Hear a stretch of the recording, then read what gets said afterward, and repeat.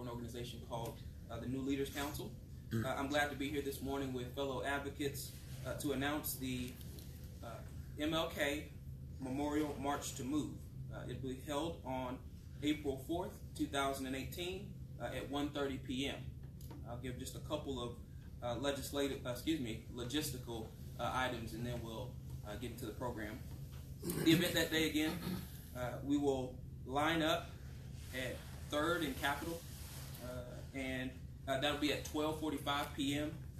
At 1:30, we will march from Third and Capitol to the Capitol steps uh, and begin a brief program uh, at 2:15.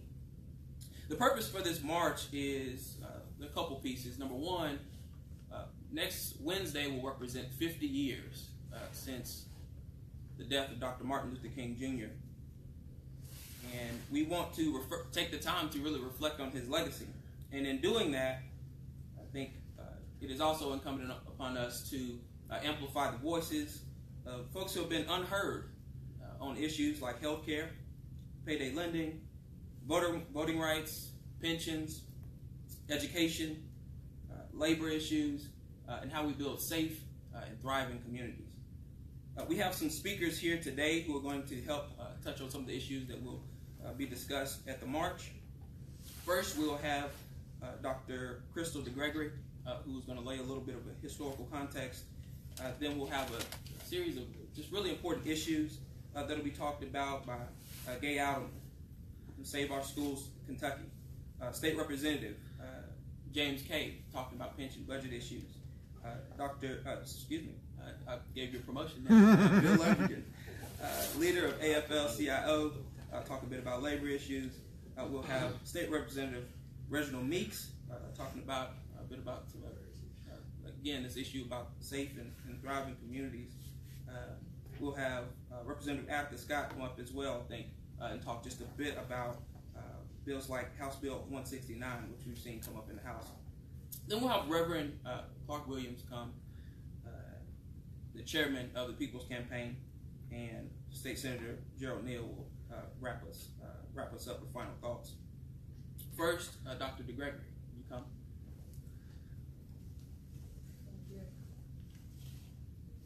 Long before streets in every uh, major American city bore his name, long before his widow, Coretta Scott King, struggled to keep his legacy alive, secured the recognition of his birthday as a federal holiday, long still, since his statue stood tall on the National Mall, the Reverend Dr. Martin Luther King Jr. was an enemy not only of state-sanctioned racism, but also of the state.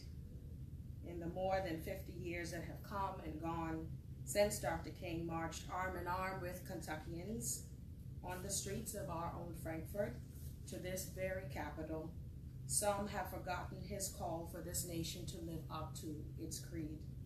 Others have forgotten its blank check. And others still have forgotten that democracy is an unfinished ideal so long as pastors and politicians do not see people who do not look like them, live where they live, or believe what they believe as deserving of every human dignity and of respect. For so long as difference is deemed deficiency, those who labor in the cause of freedom, justice, and equality cannot rest. Indeed, we who believe in freedom must remind ourselves and others that marches are not mere tokenism. Scores of good people have suffered bad consequences, have been harassed, have lost their livelihoods, and have even lost their literal lives, all because they marched. And so we march. 50 years after an assassin's bullet forever silenced the dreamer, we march.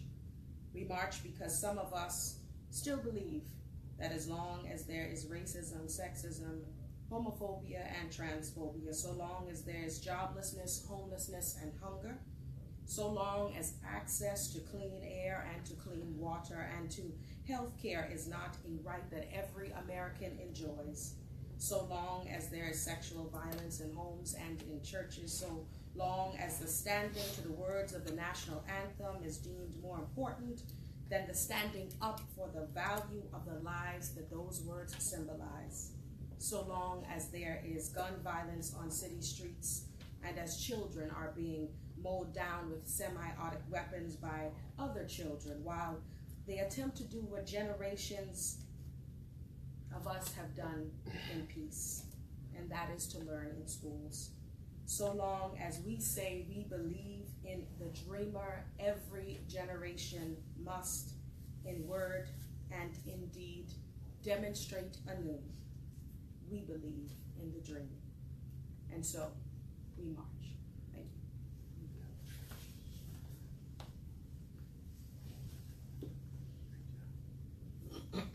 My name is Gay Adelman. I'm with Save Our Schools Kentucky. And a, an expression came to mind recently that rings true here today. It's expensive being poor.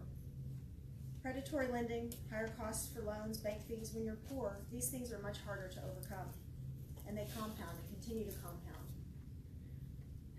Kentucky is a poor state, and that analogy applies to our state as well. When we don't invest in our public schools, it's expensive. We make an expensive mistake when we don't invest in public education. Kentucky can't afford the same cuts to funding that other states have endured. Yet our education funding is still at pre-recession levels. Our schools are broken on purpose. There's a false narrative. Uh, it's part of a national playbook to cut funding to public schools, label our schools as failing, so that predatory, similar to predatory lending, charter schools can come in and profit from our from our poverty, from our um, poverty. Yes, it's a playbook, and it's a shame to see it playing out here in Kentucky. There's a reason the NAACP has a moratorium on charter schools. They take money and resources away from public schools. And unlike charters, public schools serve everyone. These charter schools disproportionately affect our minority children especially. They resegregate our schools. And we also have, uh, part of this predatory practice, we also have a scholarship tax credit that's trying to creep its way into some of our bills. Even in these final days of session, they're still trying to find a way to to sneak that predatory practice in. We have well-intentioned lawmakers with no experience in public education, no experience in public schools, predict or dictating unfunded mandates with unintended consequences. Instead of funding back-end, punitive, restorative, expensive measures, I shouldn't even say restorative because what we really want is restorative in the front end, not punitive, reactionary measures in the back end. We need to be funding our public schools, not charter schools. Fund our textbooks, not metal detectors. Arm our teachers with resources they need to be successful so we don't have to get to the point where we're talking about these reactive solutions. They are much more expensive and much more punitive and they affect our most vulnerable. The school to pipeline, school to prison pipeline is real and it can be avoided if we invest in these front end supports and resources. Instead of investing in our children, we're divesting in them. Let's invest in smaller class sizes, early childhood intervention, textbooks, mental health counselors, trauma-informed care, friskies, restorative practices, art, music, deeper learning, trades, and project-based learning. Not the back end, charters and high-stakes tests and the things that, that harm our most vulnerable children the most. Frederick Douglass once said, it's easier to build strong children than to repair broken men. The interests of the people are being ignored the voices of the people are not being heard. Thank you.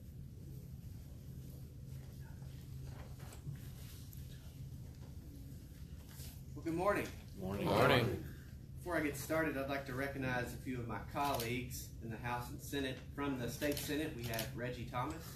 Uh, we have my seatmate, uh, from Louisville, or from from Whoa. excuse me, from Lexington and Fayette County, Representative George Brown. He wants to be We have from Louisville, we have Representative Reggie Meeks, we have Representative Jeff Donohue, we have Representative Darryl Owens, and we have Representative Attica Scott. We also have with us our House Democratic floor leader, Mr. Rocky Adkins from Elliott County. So I want to thank those members of the House and Senate for being here this morning.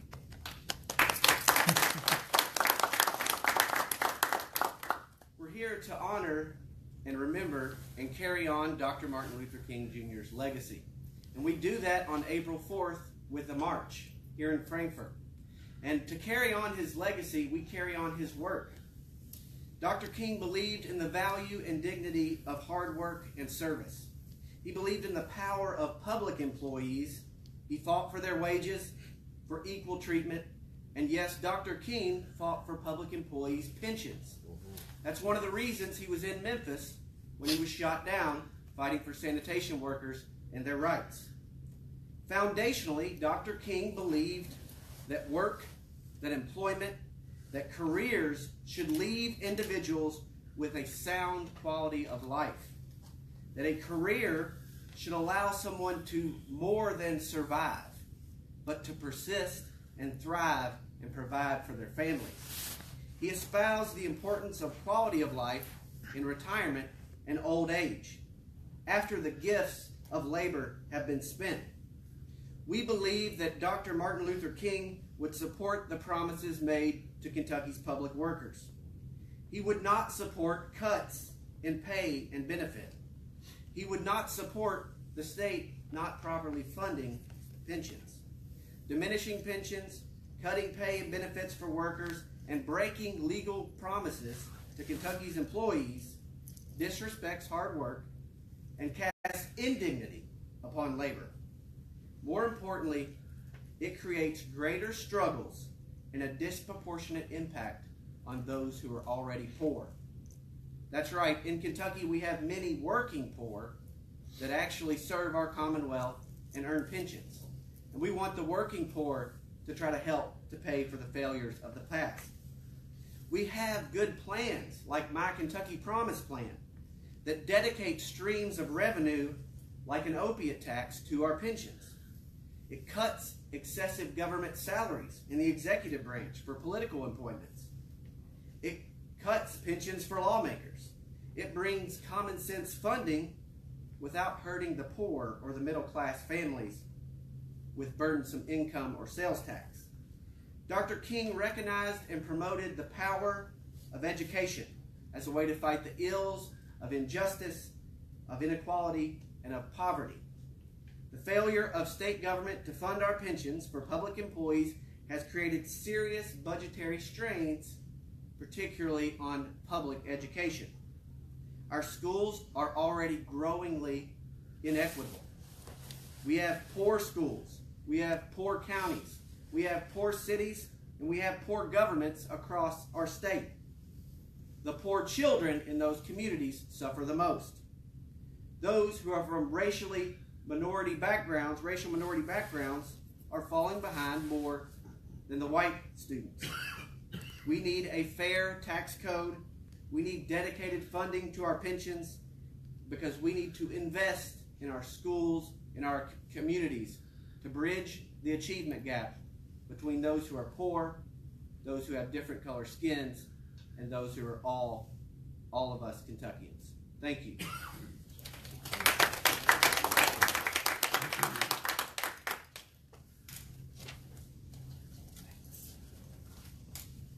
Good morning, everybody. Good morning. I'm Bill Londrigan, the president of Kentucky AFL-CIO. I'm here on behalf of all the working families in Kentucky, and we're proud to stand with the People's Campaign uh, and their march as it comes up here on April 4th. You know, we will be having a significant march as well and many activities in Memphis on, on, on April 4th uh, with the labor movement from across the country. And we're proud to support this campaign as we were when Martin Luther King marched in Washington and across the country. He stood with organized labor, A. Philip Randolph, Walter Reuther, and many other great labor leaders that stood hand in hand and side by side with Martin Luther King to stand up for workers' rights. Because Martin Luther King recognized that workers' rights are civil rights and civil rights are workers' rights. And you cannot have one without the other. He stood against all the things that we're facing today the rollback of wages, of benefits, of health care, of pensions. He stood with workers and had that strong message of unity and solidarity. He recognized that right to work was a divisive strategy born out of Jim Crow laws that wanted to divide workers against workers, white against black, in the workplace. Let me just mention one of his quotes about the labor movement. He said, the labor movement was the principal force that transformed misery and despair into hope and progress. Out of its bold struggles, economic and social reform gave birth to unemployment insurance, old age pensions, government relief for the destitute, and above all, new wage levels that meant not mere survival, but a tolerable life. Dr. King would stand with us today to fight for pensions, for increasing the minimum wage, against the repeal of prevailing wage, against right to work, and stand with workers. He said also, and I, I'm so glad to be able to quote Dr. King because his words are almost like music and uh, magic to me when I read them. In our glorious fight for civil rights, we must guard against being fooled by false slogans such as right to work. It provides no rights and no works. Its purpose is to destroy labor unions and the freedom of collective bargaining. We demand this fraud be stopped, and we stand with Dr. King and his legacy to, to demand so many frauds be stopped right now. And we are so pleased and happy that we have a continual recognition of Dr. King's life work and his legacy as it stands for working families of all colors and all races and all creeds and all backgrounds. And that is, I think, the message that we need to deliver when we go forward from here, that we stand with the legacy of Dr. King in his great work and his 50 years from, from when he was killed. Uh, his legacy is still alive and well, and we want to continue to support it. Thank you.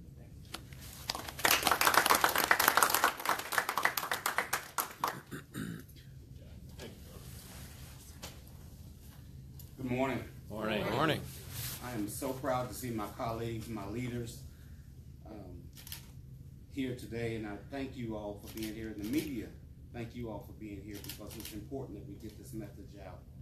I um, represent a generation of, people who feel like at times, why are we marching? Why, why do we have to do this? We're looking backwards, we should be looking forward. And I, as I teach students, I understand that we have to be the bridge between the Dr. King generation of getting out there, putting your feet in the streets, and the present generation that doesn't see why necessarily they need to be out in the street as well. I think that one of the things we see today is that we, we're seeing young people recognize that they need to step forward and be their own voices, as Dr. King represented all of us and was the voice. I want to talk a little bit about building communities. I come from a community that um, was so encouraging, nurturing.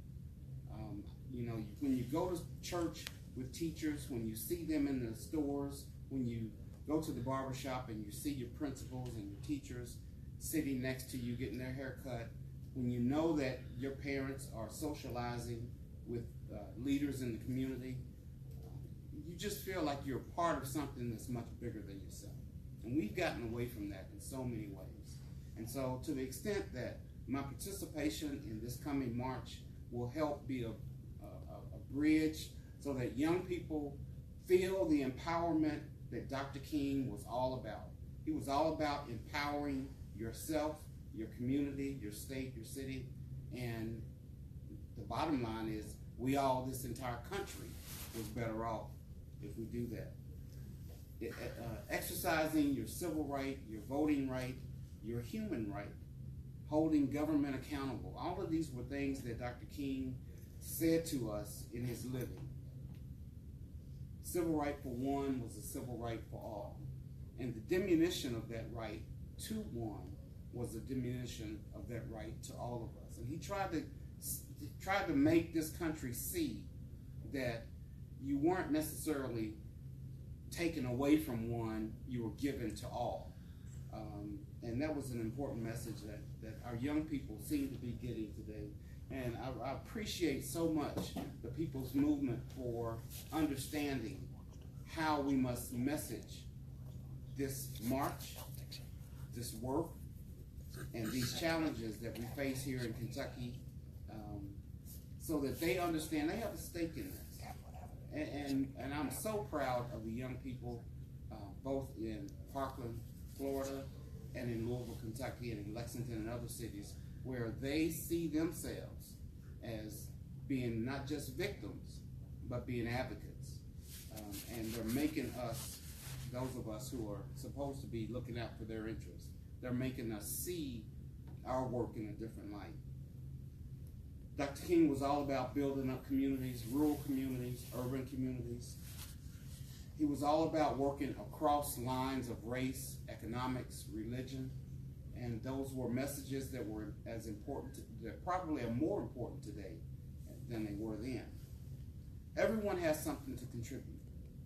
Um, and so, working across party lines, working across racial lines, uh, working across lines of economics were all things that Dr. King was all about, and the message of Dr. King's living is as important today as it ever was. And I'm proud to be a part of a movement that is keeping that message alive and helping to build bridges uh, throughout this Commonwealth. Despite what we're getting from the first floor of the of the Capitol and the, the governor's mansion, we all are in this together. And it's not as a dictatorship, it's as a working partnership. And when we understand that, and I hope this message, this march, will be a message that says we have to work together to uh, to make this a better Commonwealth for all of us. And I thank you all for your work, and I thank you all for letting me be a part of it. Thank you.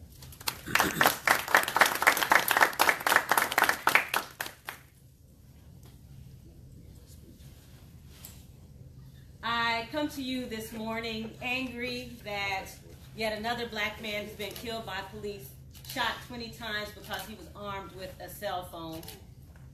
I come to you angry because far too many people will leave today and prepare for next week's march using quotes by Dr. King designed to tell black folks don't turn over the tables like Jesus did because another unarmed brother was shot and killed by police officers. Protest peacefully.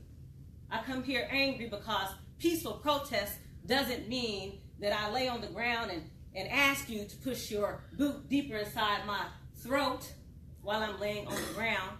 Peaceful protest means that I'm going to make sure you know that I'm angry because in my second year as a legislator, I've seen time and time again that bills are filed to keep boots on the necks of people who look like me. Whether it's a neighborhood schools bill designed to resegregate our schools, that's a boot on the neck of black folks to tell us stay in your place. Don't come out here where you don't belong. We're going to make sure we're in busing so you can't make your way out here where you're not wanted or welcome.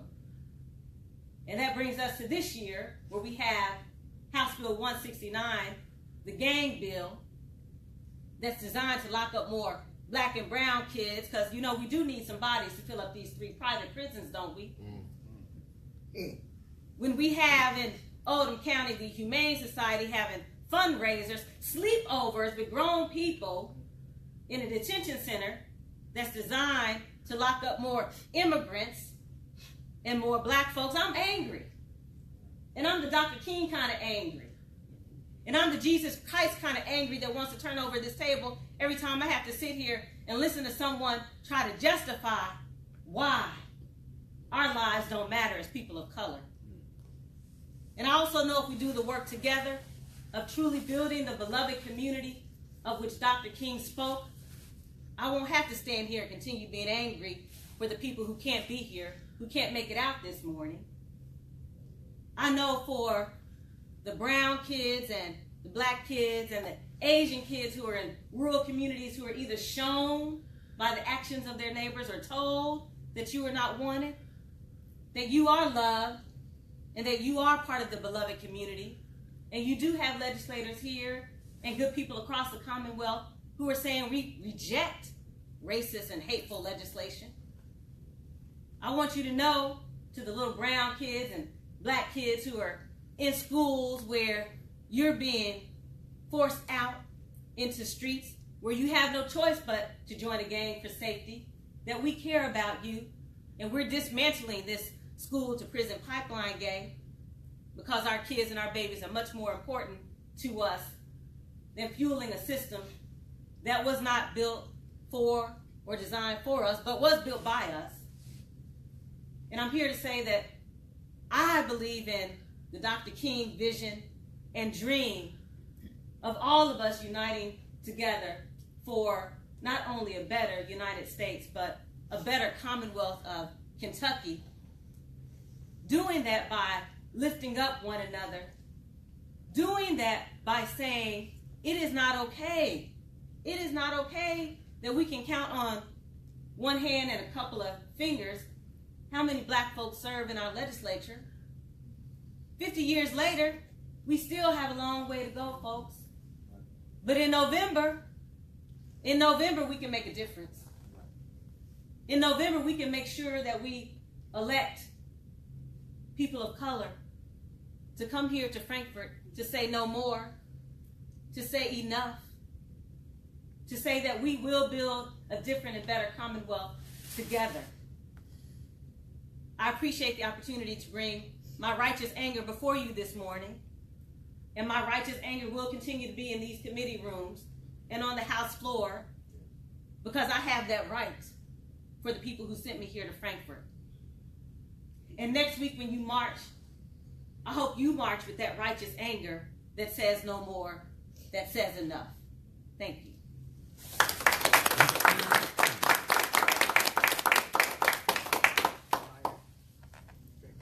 I want to thank everyone for everything. Again, I'm Clark Williams. I'm the president uh, and the chairman of People's Campaign and the People's Campaign Community Network.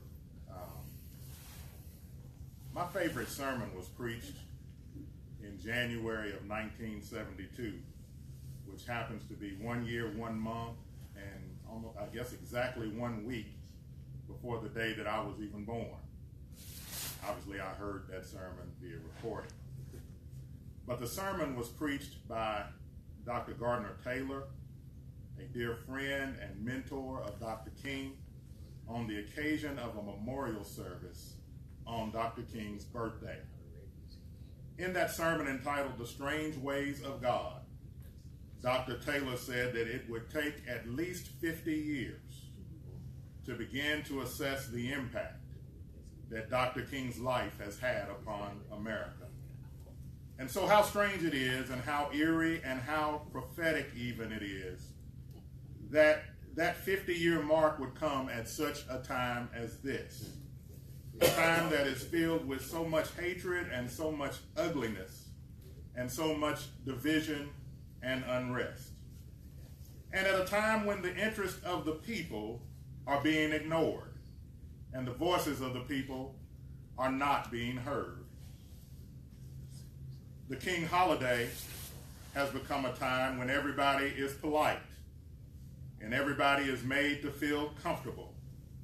But part of our job in furthering Dr. King's legacy through this MLK Memorial March to Move is to say and do some things that will make some people feel uncomfortable. There was a preacher, another preacher, in Germany by the name of Martin Niemöller. And Niemöller said in the 1940s, first they came for the socialists. And I didn't speak out because I was not a socialist.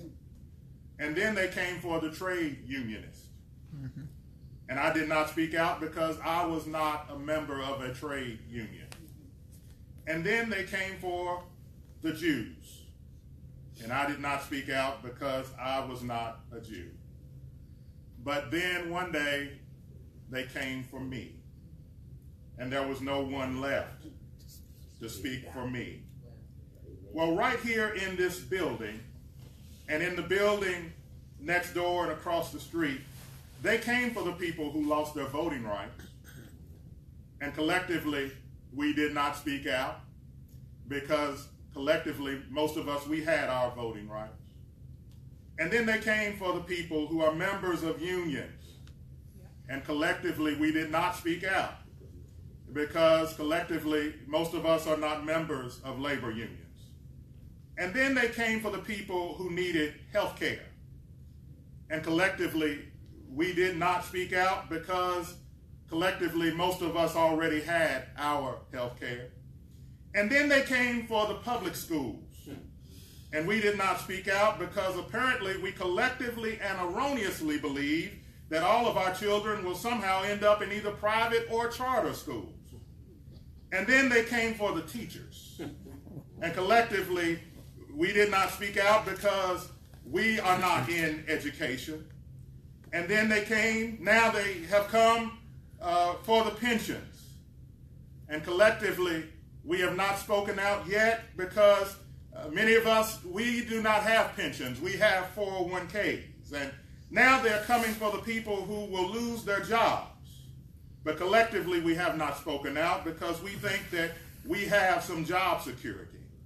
And right now, through House Bill 169, they are coming for the people who fit a certain profile of being gang members.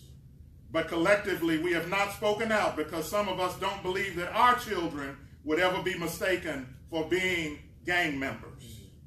And so, surely, we can see enough of a pattern here by now to know that some of our elected officials, not all, but some, are going to come for us.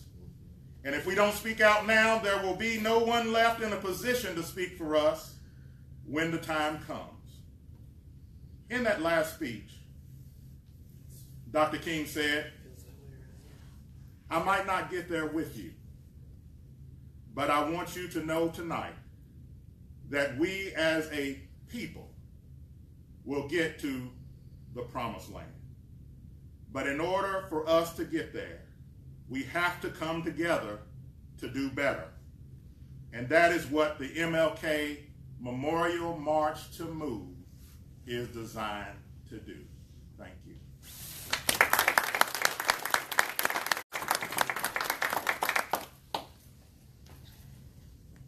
Well, there you have heard it. Name is Gerald Neal. I serve in the Kentucky State Senator Senate with my friend Reggie Thomas. Uh, bring greetings to everyone that's here. I look around the room. I see the